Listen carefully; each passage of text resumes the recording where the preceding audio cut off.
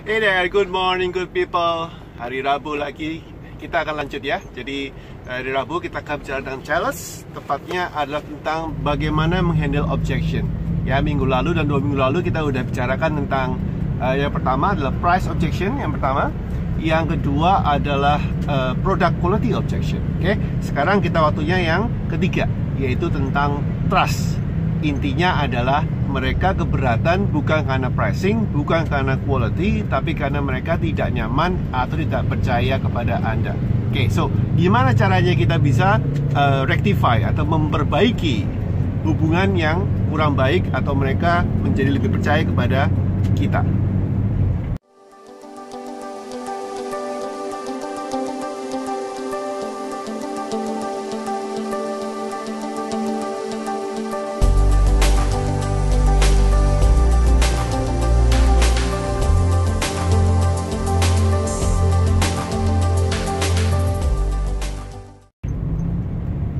Alright, so sekarang saya lagi on the way ke uh, Pasar Turi Station ya. Saya lagi ke waktunya saya untuk traveling um, untuk mengcoach klien di luar kota. Okay, so trust.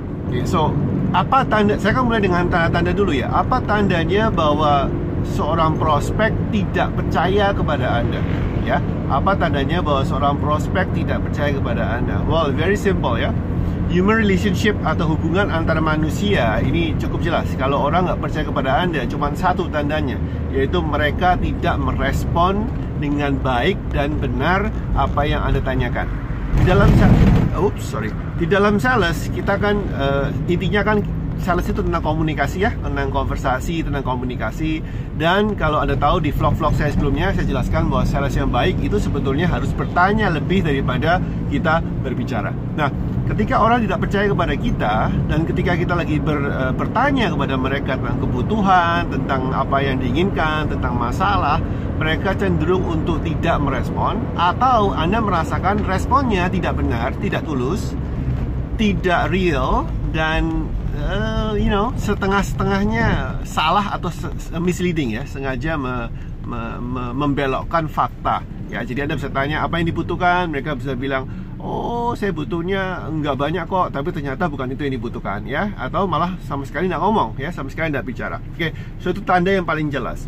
Sekarang bagaimana kita memperbaiki atau mengimprove kita punya prospek ya, menghandle objection atau keberatan ketika orang tidak percaya kepada kita?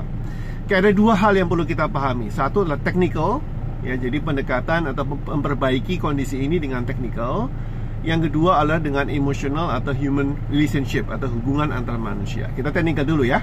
Jadi ada dua ya, technical dan yang kedua adalah emotional uh, atau human relationship.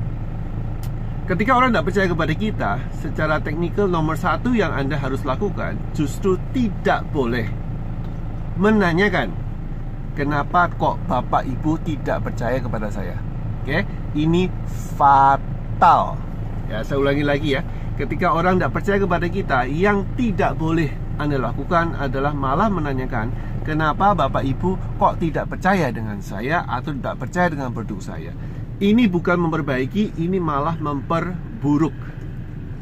You know, it's uh, saya lihat ini berkali-kali dan banyak orang melakukan hal yang salah secara fatal ini kok bisa orang nggak percaya kemudian ditanya kepada dia kok nggak percaya pak. Bukan malah diberitahu kenapa nggak dipercaya eh, kenapa mereka nggak percaya tapi malah mereka merasa jengkel marah kesel sama anda dan malah nggak mau dihubungi lagi malah dicuekin. Jadi kita nanti ngomong ke minggu depan ya. Minggu depan kita akan bicara tentang hal yang uh, objection tapi tentang kalau dicuekin bagaimana. Itu yang paling fatal oke? Okay? so jadi itu no no, big no ya. Jangan menanyakan kenapa kok nggak percaya. Oke, gimana? Technically yang Anda lakukan adalah confidence atau uh, cara membuat orang untuk menjadi trust kepada Anda adalah dengan cara confidence ya. Jadi membuat orang percaya kepada kita itu rumus teknikal nomor satu adalah Anda harus super confidence terhadap Anda dan produk Anda. Jadi manusia itu tertarik dengan orang yang punya kepercayaan diri yang tinggi, Keperca kepercayaan diri tinggi, gitu ya maaf. Jadi orang punya punya rasa tertarik kepada orang yang punya uh, eh, PD yang tinggi.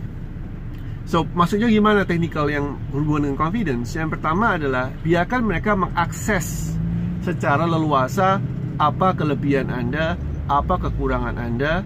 In fact lebih baik lagi Anda yang menyatakan ada beberapa hal yang kurang baik dari perusahaan Anda yang sedang Anda improve.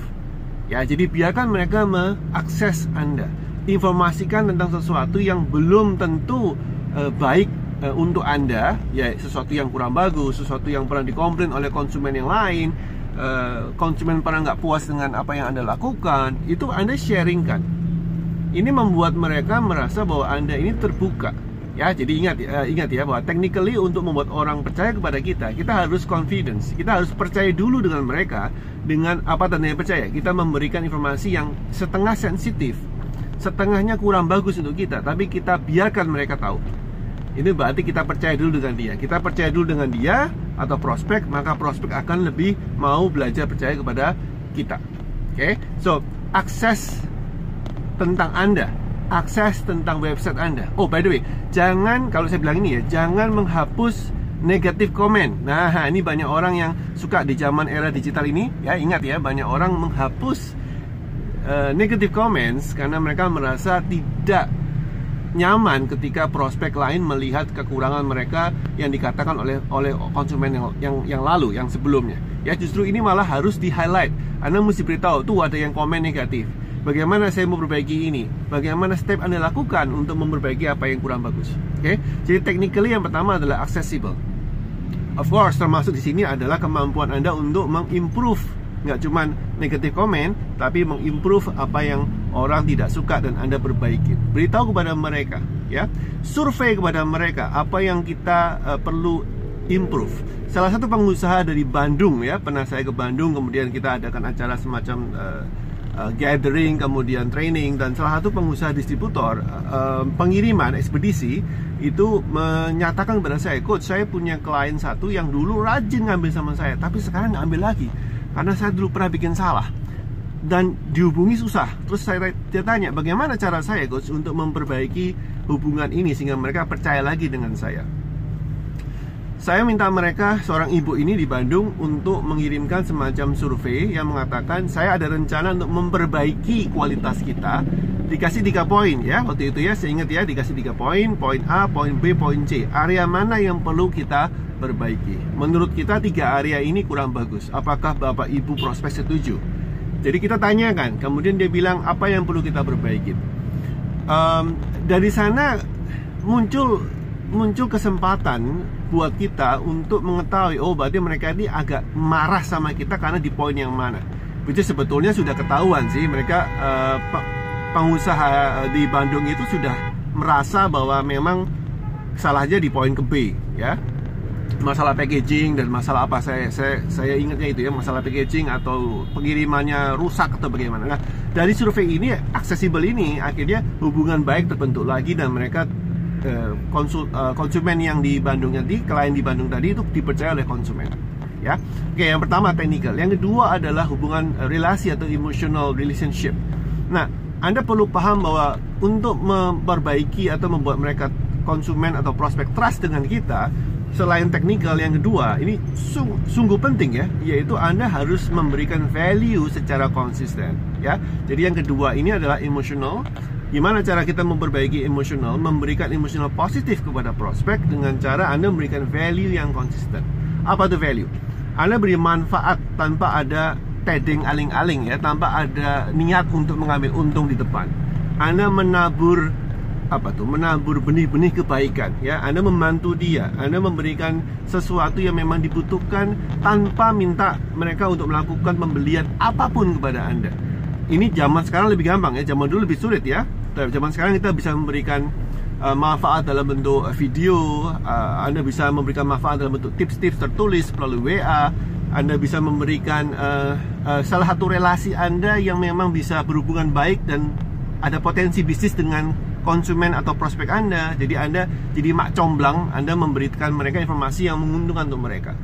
Nah, kalau Anda melakukan dua hal tadi ini, satu technical, yaitu confidence ya, membuat mereka bisa akses kepada Anda. Buruknya Anda juga terbuka oleh uh, oleh mereka. Dan yang kedua adalah Anda bermanfaat memberikan konten, memberikan uh, uh, value yang konsisten, maka Anda niscaya akan kembali mendapatkan kepercayaan mereka. Oke? Okay? So silakan Anda mempraktekkan dua hal ini ingat bahwa ini adalah uh, uh, otot yang Anda mesti lakukan untuk menghandle smash keberatan ketika mereka tidak percaya kepada Anda. Semoga bermanfaat.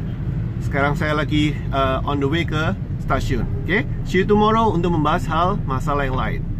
See you. Boom.